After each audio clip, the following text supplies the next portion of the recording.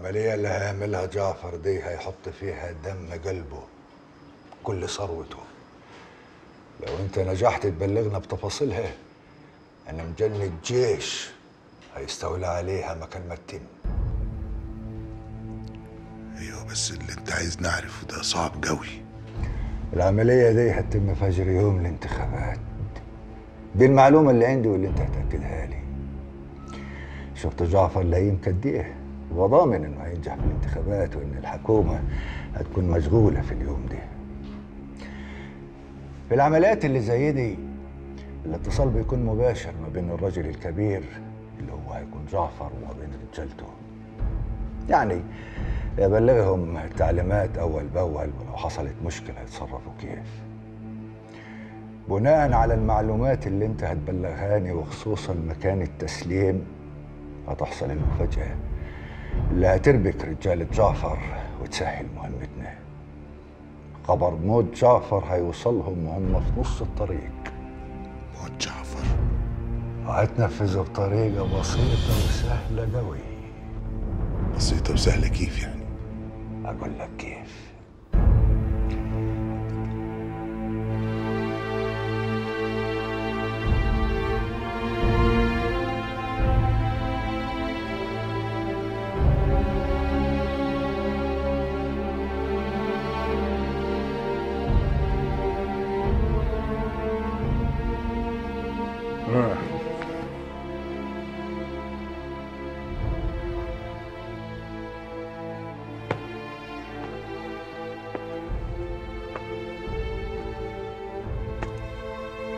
النفس يا شفيق لما تبيعني أنا وأهلك وناسك. تبيعني بتمن يستاهل. مش بواحدة ما تسواش. أنا عمري ما فكرت أبيعكم يا أبوي أنا كنت هرجع في الوقت المناسب وأحكي لك على كل حاجة. أنت ما رجعتش غير لما ضاعت منك. وما لقيتهاش قدامك. أنا غلطان. مستعد أستحمل كل اللي هيجرالي بس هي ما تستحملش. دي بنت غلبانة ما ذنبهاش حاجة. أنا عملت كل اللي عملته ده في لحظة جنان. ما حسبتش أي حاجة. زين قوي إنك معترف بغلطتك. اللي ما صلحهاش غير حاجة واحدة بس. ورقة طلاق تبعتها لحبيبة القلب. بعدها ممكن أفكر أسامحك ولا لا. أيوه. أطلقها كيف يا أبوي؟ بقول لك هنادي مخطوفة. طلعت وملهاش أثر. بعت لها ورقة طلاقها على عنوانها في مصر. كمان قرشين تمشي حالها بيهم اعتر عليها في الأول يا أبوي. أشوفها وبعدين أرمي عليها يمين الطلاق. اسمع آخر حديث عندي يا واد لو حصل واعترت على بنت المحروق دي مش هتشوفها واصل. فهمني يا أبوي. دي مرتي. لازم أشوفها عشان أطلقها. يبقى هوصي اللي هيدور عليها أقول له خلص عليها. لو ما عرفتش أعمل منك راجل في الكام شهر الجايين دول مالكش عازة عندي مفهوم؟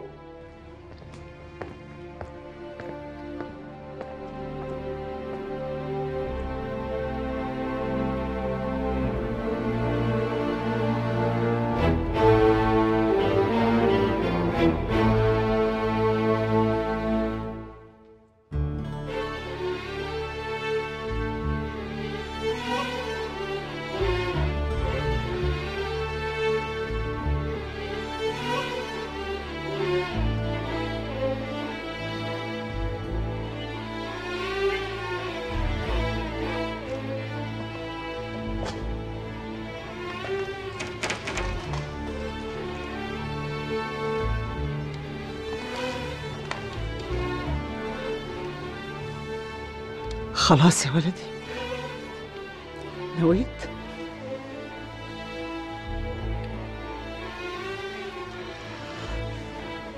معهد المركب جرب يا حق يا طلعت. طول عمرك يا ولدي. ما بتحبش لبس الافرنجي الله هو خنجام بس لزوم الشغل. أجانب. ورحلة على مركب. ينفعش معهم الجلابية مش عايزة حاجة طيب آه، لو عوزتي حاجة عبد السلام موجود. شاوري له بس. وبشير كمان مفيش حد في الدنيا يملى مكانك عندي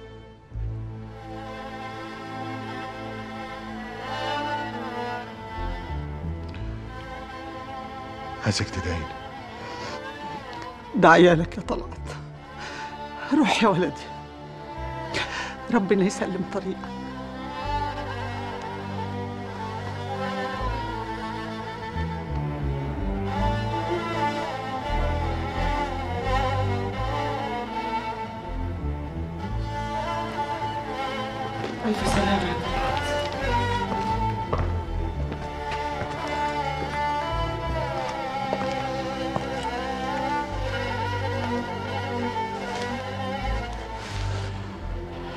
خد بالك من نفسك يا طلعت خد بالك من نفسك يا ولدي.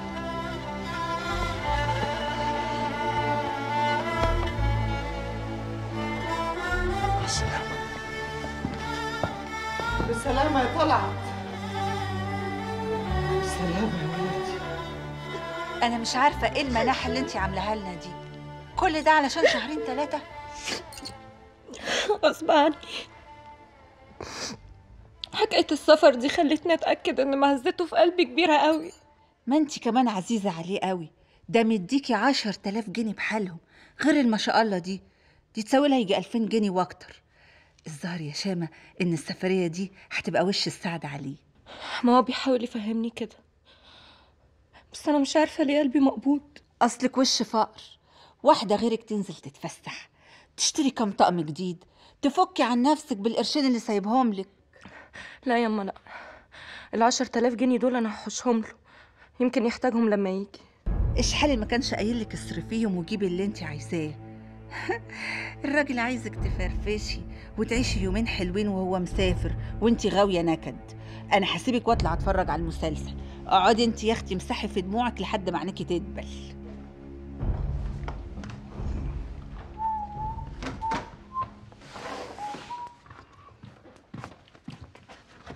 خلاص يا نجوى.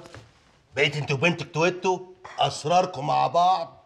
سي طلعت مكفي بنتك ومكفيكي. وأنا خلاص حلقتي لي. وأنا أقدر أحلق لك يا جملي. ما أنت عارف.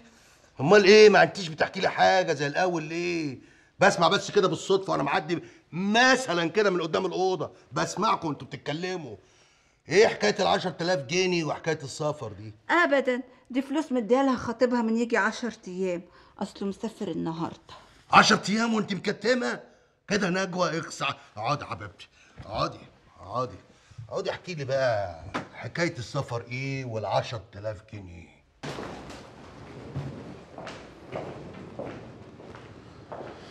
أشوف وشك بخير يا شوقي بيه. اوعى تنسى حاجة يا طلعت. كل التفاصيل اللي قلتها لك مهما كانت صغيرة في غاية الأهمية. طمن يا شوقي بيه. كل اللي اتفقنا عليه متسجل في شريط في دماغي عمري ما انساه. وإياك تنسى عهدي معك. ما تقتلش جعفر قبل يوم الانتخابات.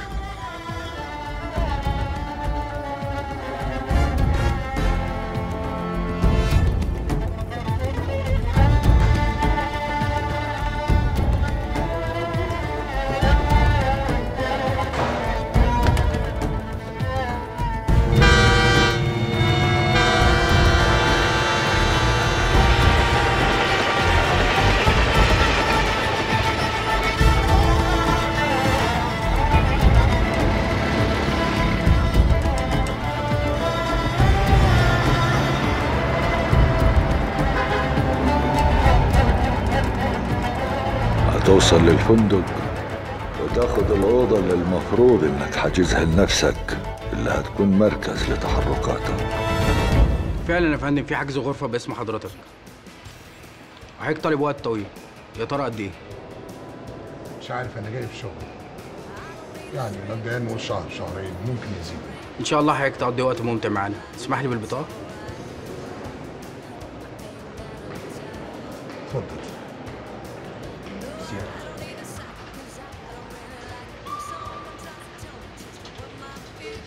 ممكن حضرتك هتملى لي البيانات دي؟ أستاذ سعد. أستاذ سعد ممكن حضرتك بس هتملى لي البيانات دي من فضلك؟ معلش استريحت شوية. الله يهمك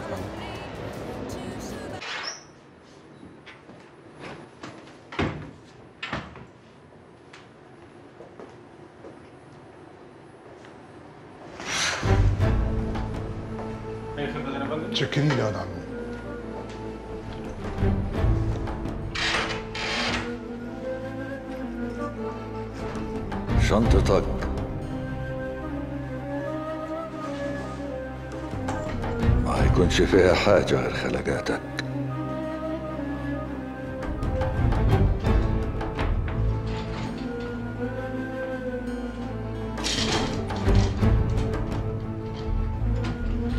والشنطة الصغيرة.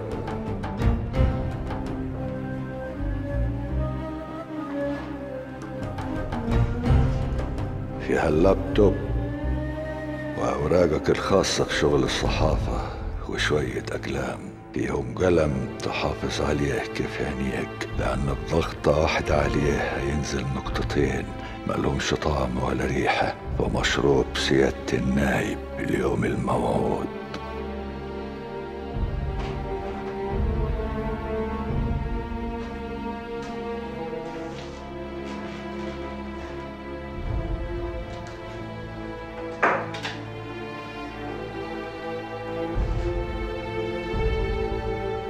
محفظتك كمان.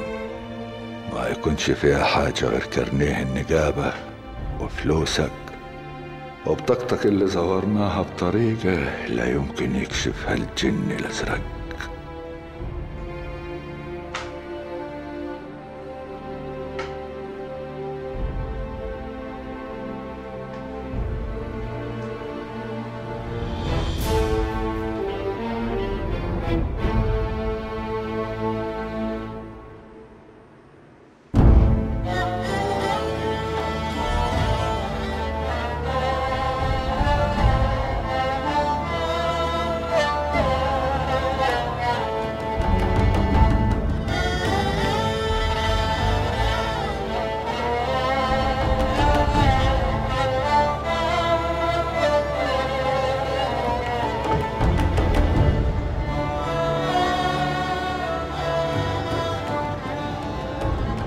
عشرة أيام هنهملك تتحرك بكل حريتك؟ تروح إسنا والبلاد اللي حواليها. تعمل لقاءات في الشوارع ومع الأهالي. تسألهم عن رأيهم في المرشحين. استطلاع رأي يعني. طبعا ده هيهم جعفر جدا. وهنفضل بعيد عنك. ممنوع أي اتصالات بينه وإحنا كمان مش هنراقبوك لضمان سلامتك وعدم ارتباكك. إلا لو احتجت تكلمني لسبب ما ينفعش يتأجل. ساعتها هتتصل على نمرة زيرو عشرة عشرة خمس سبعات. نمرة سهلة ما تسجلهاش على الموبايل. تحفظها جوا دماغك. بعد ما تعدي الفترة الأولانية هتبتدي تتصل بينا بمنتهى الحرص. وعلى خطوط هنغير نمرتها كل يوم. النمرة الجديدة هتوصلك في آخر كل مكالمة. سيادتك حريص قوي في موضوع الاتصالات دي. أيوة التلفون المحمول كان سبب في ضياع إنسان عزيز علي. مكالمة تلفون ضيعت شغل تعبت فيه سنتين بحالهم المهم بعد الفترة الأولانية هيظهروا رجالتنا حواليك. هتحاول تسهل لهم مهمات محددة. أبلغك بيها.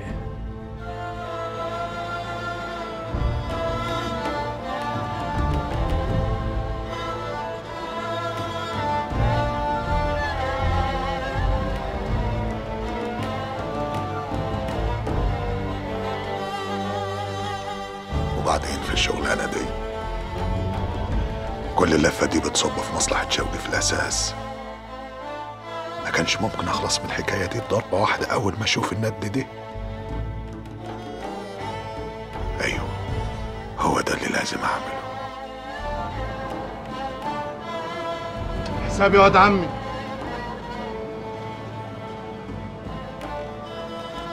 وبعدين معاك يا طلعت هنعيده تاني ولا إيه؟ خليك مركز في اللي أنت داخل عليه ما تشتتش عقلك وتخليه يودي ويجيب. أنت وعد شوقي بيه ولازم توفي بالوعد. حساب يا فندم. على بركة الله. قول لي نروح إسنا كيف؟ مفيش حاجة بتودي إسنا يا فندم غير الميكروباص اللي بنفر. وده الاقيه فين؟ في الموقف يا فندم. طب يا سيدي. شكرا. متشكرين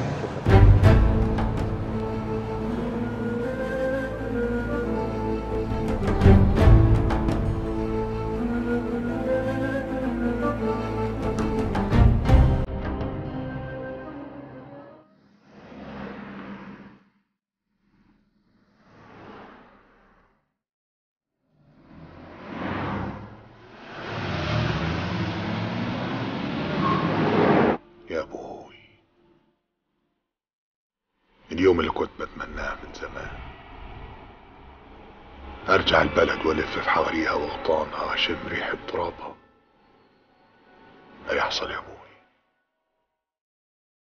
كان نفسي أول حاجة أعملها أروح على تربتك وأقعد قدامها على قد ما أقدر. بس ما قدرش بعد اليوم الموعود. يوم الانتخابات هيكون آخر يوم. حادثة استبنائي. يوم الانتخابات هيكون آخر يوم.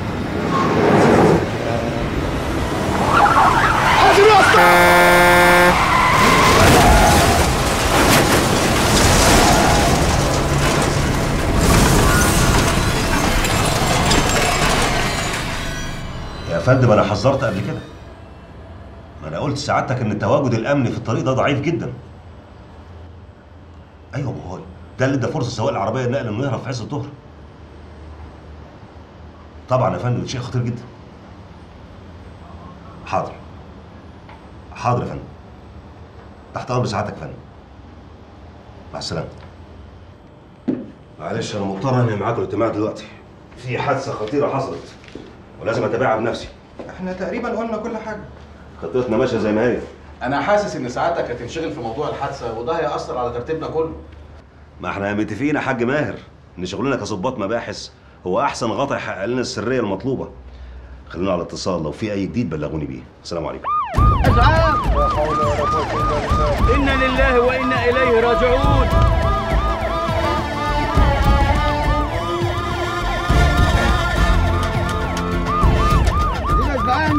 لا حول ولا قوه الا بالله إنا لله وإنا إليه راجعون.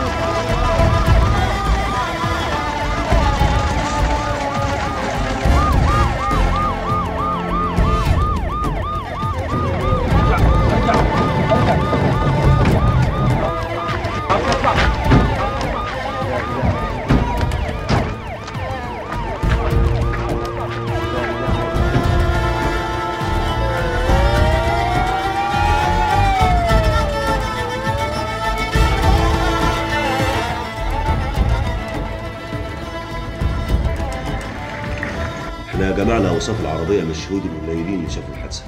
وإن شاء الله هنكثف البحث فيها. أنا مش فاهم الصحافة والإعلام شموا الخبر ده إزاي. تصور إن في برنامج اتصل بيا المعد بتاعه عايز يعمل معايا مداخلة على الهوا بعد ساعة واحدة. ما هو ما فيش حاجة بتستخبى دلوقتي يا فندم. المشكلة اللي بتواجهنا بقى إن الضحايا عددهم كبير. المشكلة الأهم العربية النقل اللي اختفت وإحنا لازم نلاقيها. لو ما لقيناهاش الدنيا هتنقلب علينا وإحنا مش ناقصين. لا يا فندم ما هو أنا أصل سايب الظباط بيعملوا كل جهدهم إن شاء الله يعني وهنوصل. وأنت يا دكتور نعمان أنا عايز من حضرتك اقصى رعايه ممكنة للمصابين. حط كل واحد في أوضة لوحده وزود الإشراف الطبي. مش بعيد مش بعيد تلاقي الصحافة والإعلام نطين عندك هنا. والله إحنا هنعمل كل اللي نقدر عليه واللي عاوز يجي يتفضل. هقول له إن دي الإمكانيات اللي الحكومة بتديها لنا وبنشتغل على كدها. تابع الحالات دي بنفسك يا عصام بيه ولو قدرنا ننقذ حياتهم يبقى عملنا حاجة كويسة في الحكاية المهببة دي. ربنا يسهل يا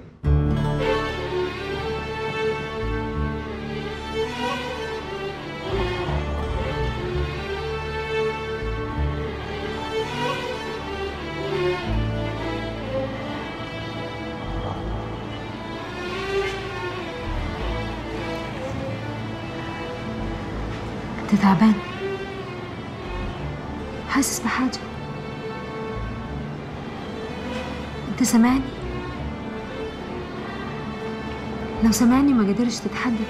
هز لي راسك بس.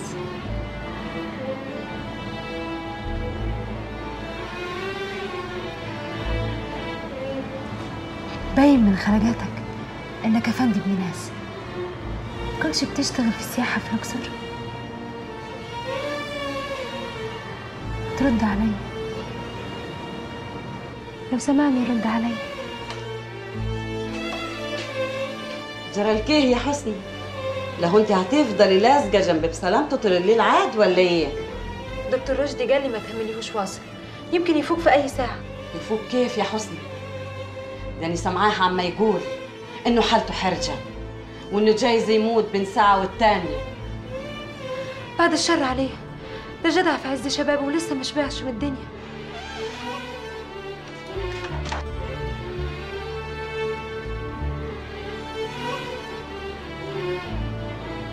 الدنيا دي غريبة بشكل.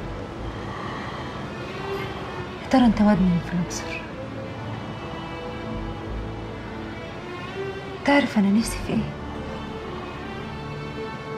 آخد مركب كبيرة من اللي بيباتوا فيها ويوصل لحد مصر. أنام وأصحى ألقى تحتينا النيل. حوالينا ناس نضاف متلمعين. معايا راجل مقتدر يحبني ويخاف عليا. ياخدني من الهم اللي أنا فيه. نبعد بعيد عن هنا. ولا إيه رأيك نروح إسكندرية نقعد قدام البحر؟ أصلا أنا عمري ما شفت البحر. العرباوي ما هوش بني آدم عادي كيف اللي بتشوفهم حواليك في الشارع؟ العرباوي ما هوش بني آدم عادي. كيف اللي بتشوفهم حواليك في الشارع؟ العرباوي ما هوش بني آدم عادي. كيف اللي بتشوفهم حواليك في الشارع؟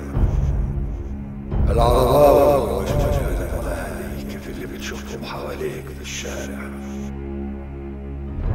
اهو غار بقى. غار من وشنا وهيقعد له شهرين ثلاثة حلو قوي هي دي بقى فرصتك يا عمنا. تنفذ اللي في دماغك وهو بعيد عن العين.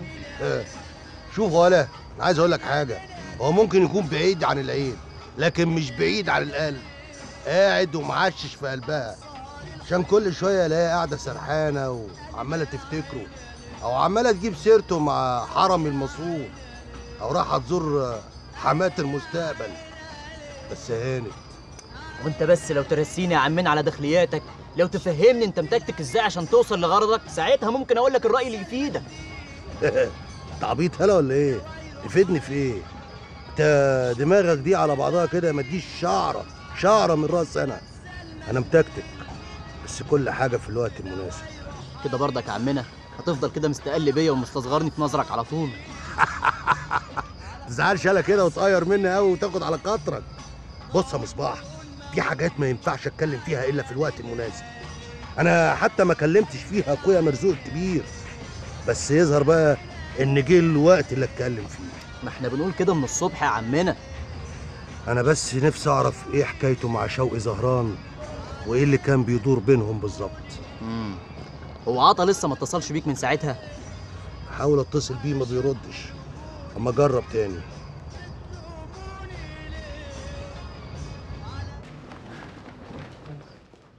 الحالتين دول بدأوا يفوقوا. عشان كده سمحت لأهاليهم بالزيارة. طب ممكن آخد منهم كلمتين؟ أنا بقول بكرة الصبح يكون أفضل. طب يعني يا دكتور نعتبرهم كده نجوا من الحادث ولا إيه والله كل حاجة بتاعت ربنا هي إصاباتهم عبارة عن كسور وردود بس إن شاء الله هيقوموا منها طب المصاب الثالث أخباره إيه؟ لا المصاب الثالث ده حالته حرجة جدا طب ممكن أشوفه؟ آه اتفضل اتفضل اتفضل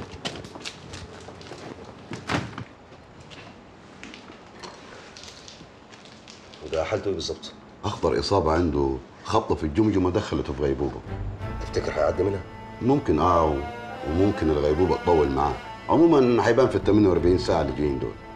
طب يا دكتور خلال 48 ساعة دول هكون معاك على التليفون. لو لقيت حالته بتتدهور حاول تنقله مستشفى الأقصر. أنا فكرت في موضوع النقل ده بس لقيته ممكن يأثر على الحالة.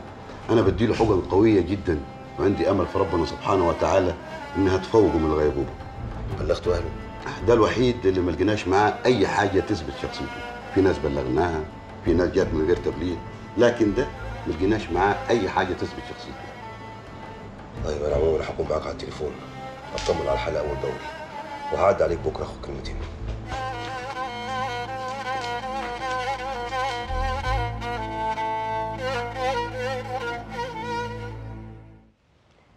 وائل حديث يا بدر طبعا. ما ينفعش نكوم البضاعة فوق بعضيها في المخازن. زين قوي يا بدير. يبقى الشهرين ثلاثة اللي جايين عايز أخلص من معظم البضاعة اللي عندينا. لأن الكميات اللي هتجينا ما شفناش كدها قبل سابق. طمن يا كبير. هتحرك أنا ورجالة ومش ههمد وهعمل اتفاقات مع كل ناسنا علشان نصرف أكبر كمية من البضاعة إن شاء الله. محدش فينا يا بدير هيهمت في الأيام اللي جاية. ربنا يعديها على خير. عين العقل يا غالي. أهو كده التفكير اللي قدام.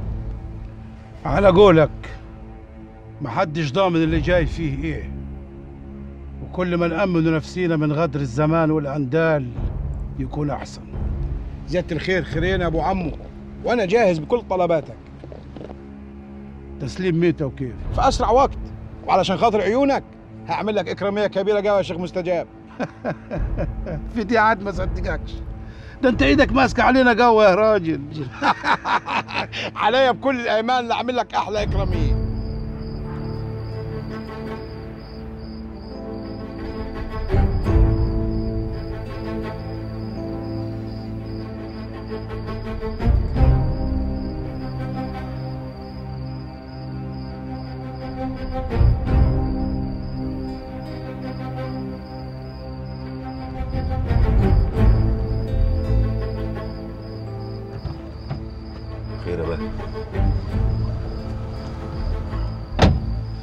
زي ما قلت لسعادتك. تحركاته بالليل رهيبة ومش مفهومة. والله يا ماهر بنون طريق الواحات وأنا ماشي ورا إحساسي. إحساسي بيقول إن العيلة دي فيها حاجة غريبة بتحصل. مفيش قدامنا غير إننا نمشي ورا الإحساس ده. يا نكدبه يا يطلع مظبوط. خلاص نراقبه الفترة عشان الحيره دي تخلص أنا برضو بقول كده.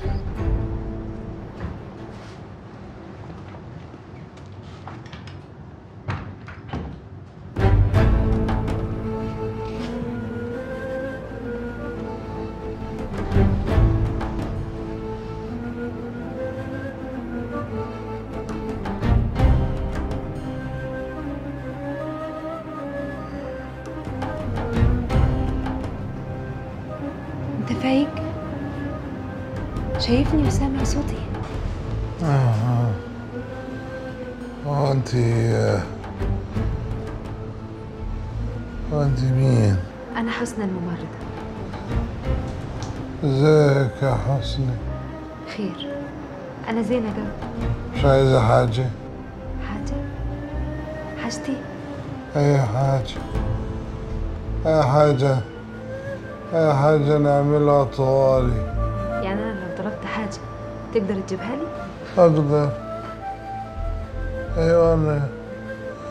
أيوه أنا أقدر بس. أنا مين هذا؟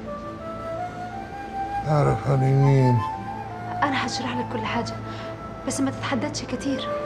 الحمد لله إن ربنا نجاك من الحادثة حادثة؟ حادثة الميكروباص اللي كان جاي من الأقصر. جابوك هنا وانت يا عيني في دنيا تانية. في غيبوبة يعني. آه آه كيف وش؟ مستشفى آه. آه.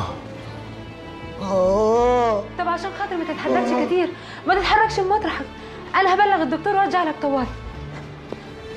خير يا حسني لسه فايق حالا يا دكتور. كويس قوي ناخد منك كلمتين. الحمد لله على السلامة. سامعني؟ أنا مقدر عصام النياوي سامعني؟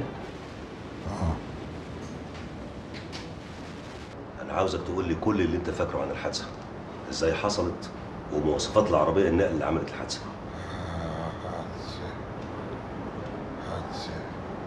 أيوه الحادثة. انت اسمك إيه؟ اسمي اسمي مش عارف. آه آه أنا اسمي إحنا اللي حولك أنت مين؟ مش فاكر حاجة خالص؟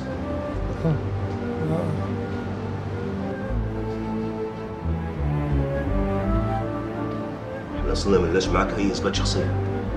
طب أنا عاوزك ترتاح كده وتفتكر كل حاجة عن الحادثه.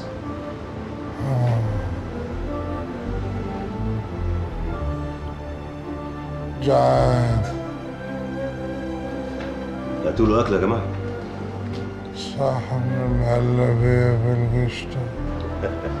هاتوا له صحن مهلبيه بالقشطة؟ ده حالته صعبة قوي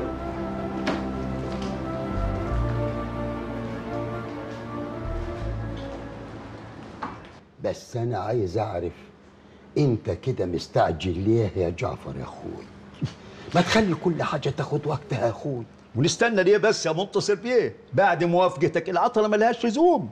إلا إذا كنت ناوي تفكر من جديد ولا إيه؟ لا منتصر بركات ما رجعش في كلمة قالها واصل. بس يا أخوي أنت عارف بعده بكره ما نلحقش يعني نعزم معازيمنا ونشتري لوازمنا. يا سيدي نعملوا حاجة على الكد. ونخلي الحفلة الكبيرة اللي الدخله اللي ما هتتأخرش. يعني نقول آه، بعد شهر تقريبا ها؟ أنت أنت يرضيك العربوية وبيت بركات يعملوا حاجة على الكد ثم يعني واخدنا على الحامي كده قوي ليه يا سيدي عايز أفرح بشفيق قبل ما يشتغل في الانتخابات. وبعدين هو جاهز من مجاميعه عنده جناح في السرايا في ظرف يومين ثلاثة هيتفرش ويبقى جاهز. واحدة واحدة يا جعفر واحدة واحدة. أه، شفيق ما تقول حاجة يا ولدي وانت قاعد ساكت كده ولا انت دايما مستعجل برضه زي أبوك؟ يا سيدي لا أنا ولا شفيق هنتكلم. إحنا نسأل صاحبة الشقة. تعال يا عروس. أهلا أهلا. اللهم صل على النبي. تعال يا مريم. اللهم صل على النبي. تعالي، أهلا تعالي. أهلا أهلا أهلا عروستنا.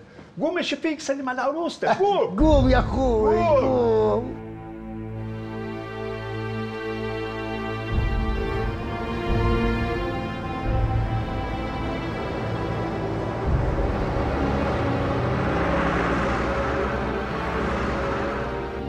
هتقول إيه؟ عربية ماشية وراك من ساعة ما طلعت. طب اسمع أنا ههدي سرعتي. وعايزك تزود سرعتك وتعدي مني. أنا هعرف حكاية العربية دي إيه. هدي سرعتك يا عابد. حاضر.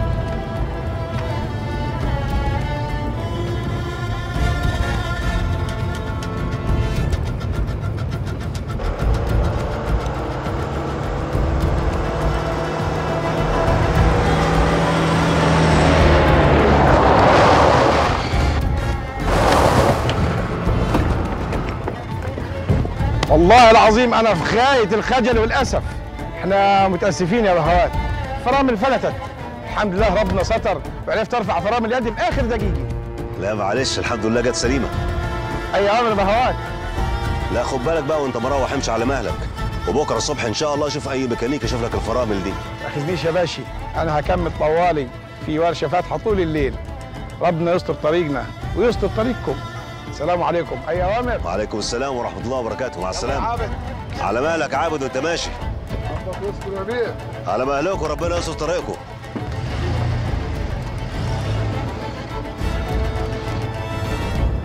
سيادة النائب جعفر العرباوي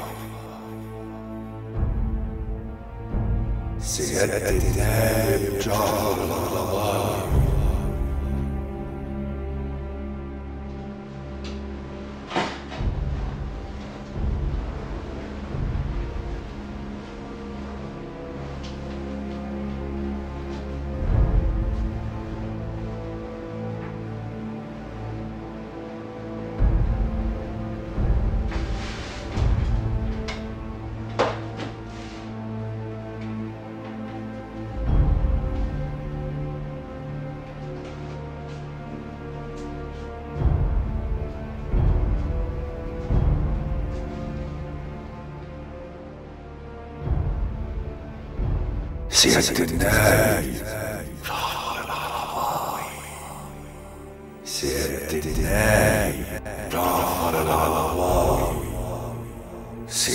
النائب جعفر العرباوي حالة فقدان ذاكرة واضحة. أنا بقول نبلغ السلطات عشان نخلي مسؤوليتنا عن الموضوع. هما دور على الأهل ما نقدرش نعتمد التشخيص دلوقتي. لازم نستشير أخصائي. أنا رأيي نستنى يومين كمان قبل ما نبلغهم برأينا النهائي لأنها ممكن تكون حالة مؤقتة بسبب الصدمة وترجع بالتدريج في اليومين الجايين. وماله نستنى كمان يومين خصوصا ان أنا مش متخصص لكن جاري كتير قوي في المرض ده. طب فكرني بكرة أطلب أخصائي من مستشفى جنة. إن شاء الله يا دكتور عن إذنك. هم يهملوا الطرق السريعة تضرب تجلب وإحنا اللي نشيل المسؤولية في الآخر.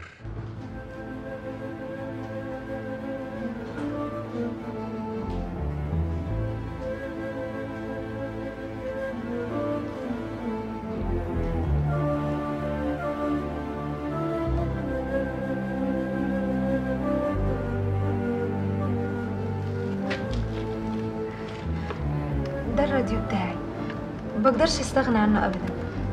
بس قلت أجيبه لك عشان يسليك متشكرين تعال. تعال ارتاح. أنا تعال.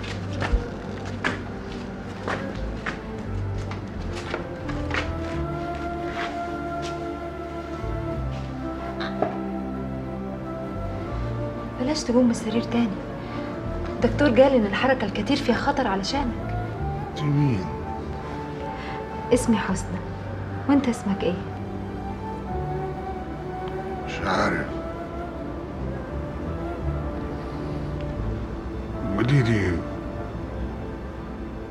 وأنت طيبة كده مع الناس كلها؟ لا مش كله. تسأل ليه أنت منين؟ قصدي بلدك. إيه؟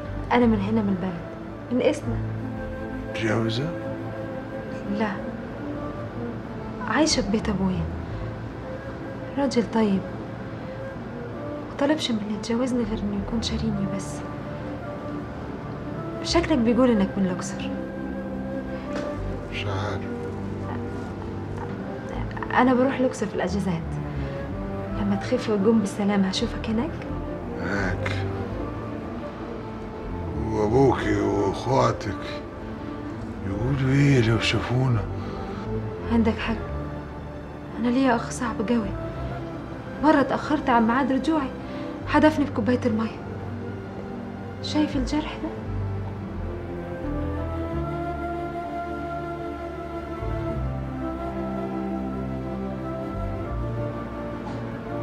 آه آه شكلك جعان. هروح أجيب لك حاجة تاكلها.